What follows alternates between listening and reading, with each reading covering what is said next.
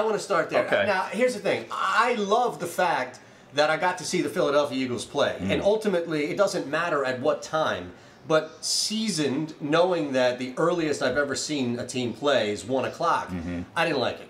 Okay. I was, uh, were you not? I was done. By 2.30 in the afternoon, I'm looking around like, it felt like it was 7 o'clock at night. By the time it hit 7 o'clock at night, it felt like I had been up for 10 hours. Well, that's because it was 20 hours. cloudy all day. But I don't think the sun came out but for five minutes on Sunday afternoon. But here's what I did: is I was over uh, at the 1912 Club, whacking Bloody Marys and eating uh, huevos rancheros and chicken and waffles, and you know settling in for some football. It was awesome.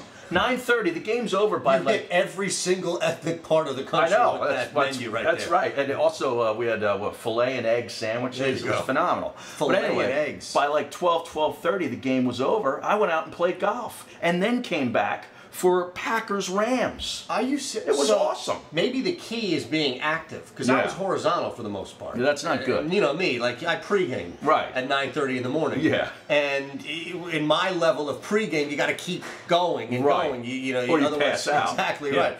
So by the time it was 12:30, and here's the thing: the game was exciting. We'll talk about the game in a second, but I couldn't do that on a weekly basis. Oh, I could. I was drained. Physically, I was drained just because of me not doing anything. So maybe I can get around that. But emotionally, it, it was a close game. yeah.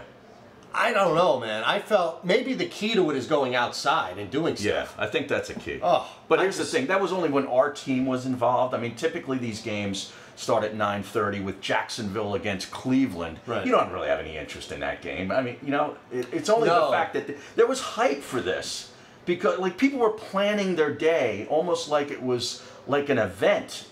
Not, and it wasn't even a home game; it was an away game. right, And you're like, dude, where are you, when are you getting up? When are you going to Well, the, so where are you going to different. eat? I know it was cool. I see. I think there's a novelty of it. I think you guys got lucky. I Yeah. think everybody out there that enjoyed it got lucky because it was a novelty of it. I, I Well, listen, and they won too. Yeah. Had they lost the game, maybe we look back on our time at nine Oh. nine thirty. Are you going to watch football the rest of the day? Uh, probably not. no. you- Well, Yeah. first of all, you went out and played golf. Right. So you didn't even care about that Skins Giants. I saw the end of it. Yeah, I saw the end of You it. saw it enough. yeah, but uh, in fact, Ross Tucker has said that London is ready for their own team, and they deserve one. So does that mean that every Sunday the London game will be 9:30 in the morning? That Well, every they, week. they only have eight home games, so I mean, you know, whoever. Let's say it's Jacksonville that relocates there.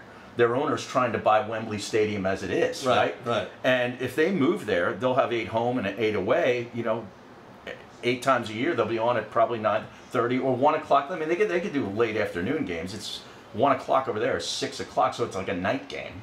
yeah, I, you know? I guess. I think it's cool. Do you? Yeah. What about London is cool? Well, I don't know. I have sucks. never been there. Yeah, I- there I you wanna go there. See, you you don't know. You're just going on what you're told. You're watching TV and somebody's telling you that London's fun. You're It's a lot like, of history, musical there's history. there's history too. in King of Prussia. You go to Valley Yeah, Forge. You want I've your been history. there. you did the battlefield I've done tour. Bad Valley Forge. No way. No way. You did a No, I battlefield didn't do the tour, tour. at Valley no, Forge. I didn't do the tour, but okay. I've, I've run, I've walked. Can, I've, can I you know. get you? See, this is my dream: is to lock you in a car. Yeah. Right. With me. Right. Obviously, and Chris, who will film it. Right. Lock you in a car. Was this car, uh, carpool karaoke? No, it's not carpool karaoke. It's carpool carpool battlefield tours, and have you just have you just sit in the car. we'll go to Gettysburg Yeah, first. exactly that's right. where you went to college. Gettysburg, Antietam. Yeah. We'll do them all, Har. Right. All right. Like I don't give I don't give a crap. We'll go Vicksburg. Pickett's charge. I'll show you Pickett's charge. We'll go the high water mark. All right, I'll show you it all. All right. And get you in these battlefield. And, and you know, the beauty of it is that you don't get to get out. Mm-hmm. So you're stuck in there. Right. Do I get to roll the window down at least? Yeah, well, you're not a dog that, you know, you get a little some, bit of need some air. Exactly Especially right. partying with you. But I mean, there's, how there's long- things in the air that I need to air the place out. You wouldn't make it until like the second stage of the Civil War. You kidding me? You'd be done. He'd be done. He'd be out of there. I'd be in Grant's tomb. That's all I'm saying. But anyway, now that would be fun. Yeah, you know, would be. maybe that's something for when no, the weather gets no, a little no, better in I'm, springtime. I'm not doing that with you. No? No. All Don't right. count me out right. of any battlefield tours. But I'm good with London getting Why? As long as it's not our team. Is know, it London or is it just another team outside of this country? Isn't it a more interesting trip to go there than maybe Jacksonville? If you let's say every every eight years the Jacksonville Jaguars are on your schedule in Jacksonville.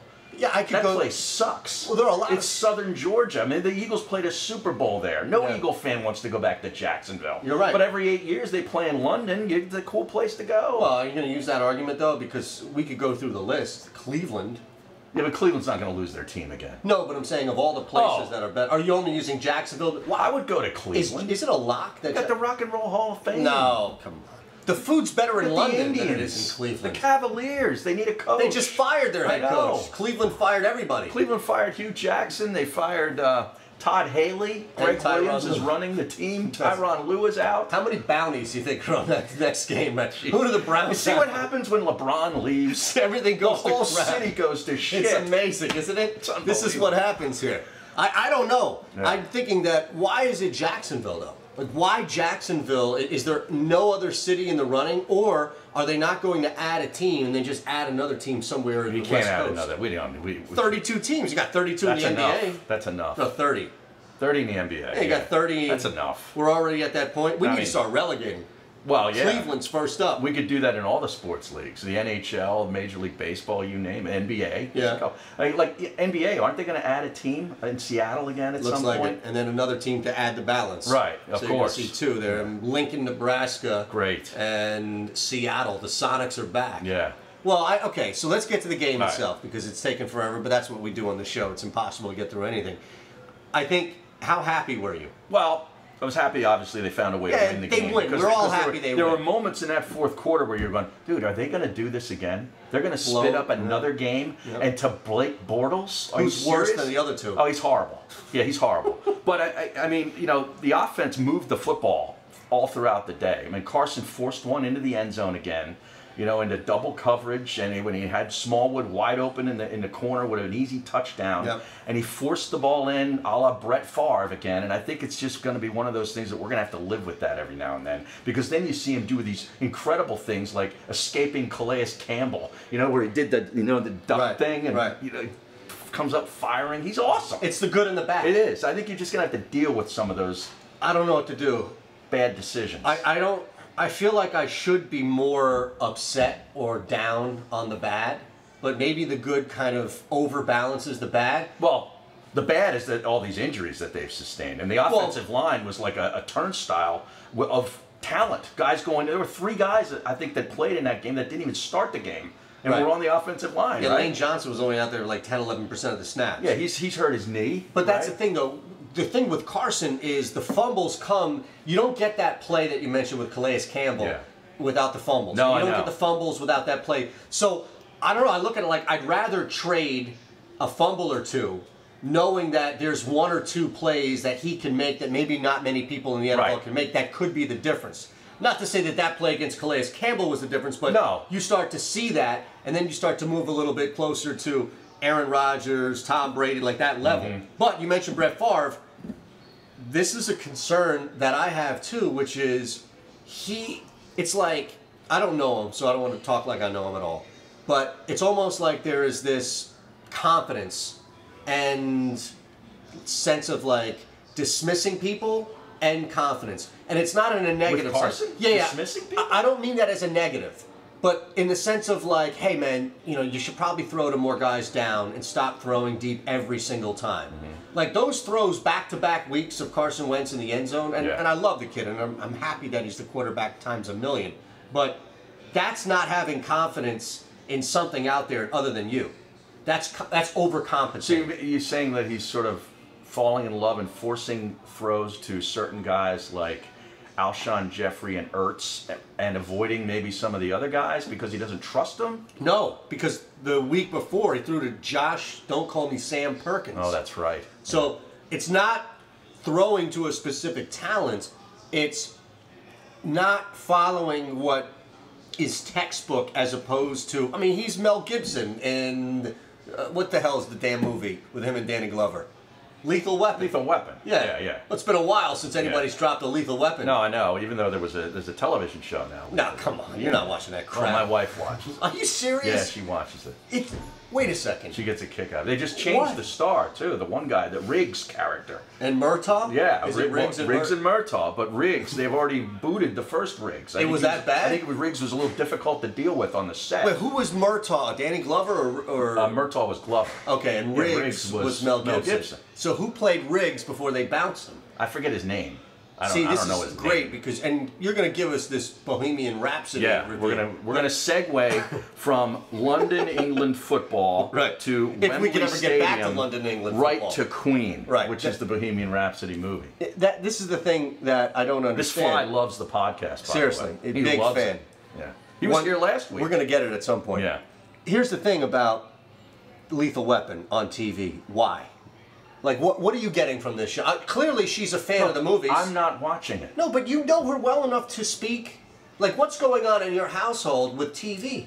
She's she, uh, she has better taste. Clearly. She likes. I call them stupid shows. No, no, no. Th- This Yeah, isn't a stupid show. Well, that they, it is to I- you. You're making fun of it right now. I agree with you. I don't watch the damn show. This is a remake of a movie. It's not It's like not even a remake Modern of a movie. It's- Family it's, a or- spin-off of a. It's a series based on the original. Oh movie. my god. I mean, come on. I'm, I'm done with yeah, Lethal let's Weapon. let's move on. I'm just saying, as All right. far as the how do we even get to the analogy? I don't know. So as far as the game itself, Well, I'm good with the, tie I'm good with the game. I mean, Jordan Matthews had a hell of a football game. How about him? How the hell did you get me to Well, Lethal Weapon? He was. I don't know. I really don't know. But that's why the show is called Derailed, right? But Jordan Matthews was was awesome on Sunday.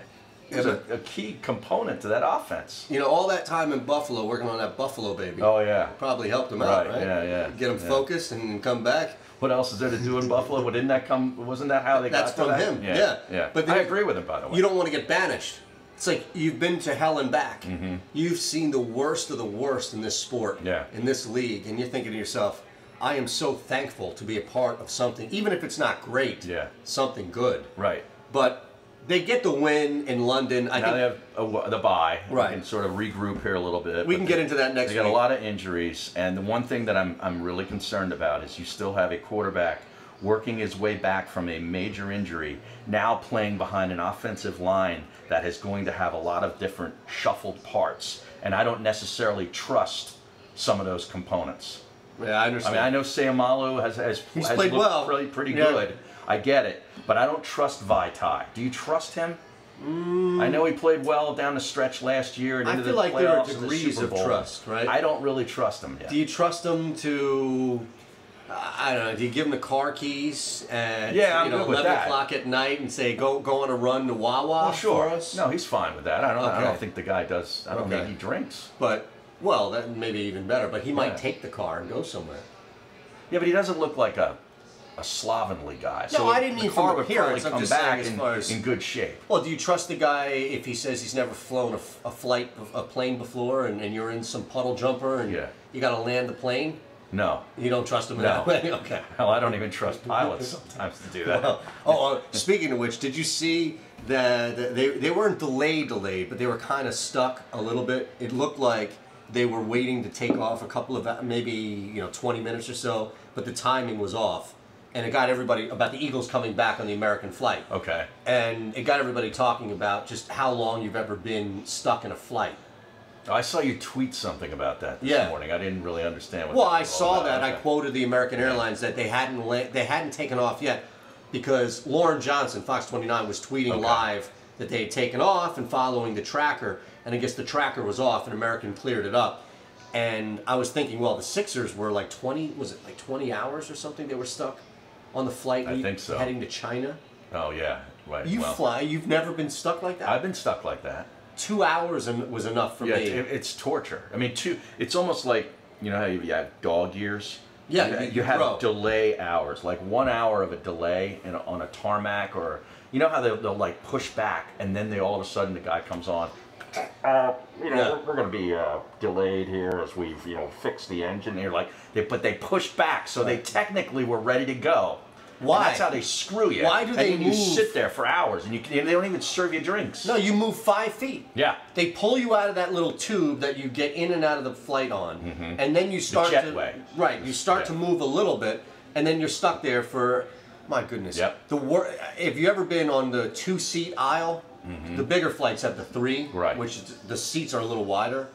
I was ready to risk it. Yeah. I was ready to just push the door open. What's the worst that could happen? I was like four hours, I think, the max, and it was on a runway. What do you think the worst that could happen would be? You're stuck on the flight. Well, the worst that could happen is the plane doesn't survive. No, no, no. I'm not saying once you're up in the air. I will take Hold on, 24 hold on. hours in a plane No.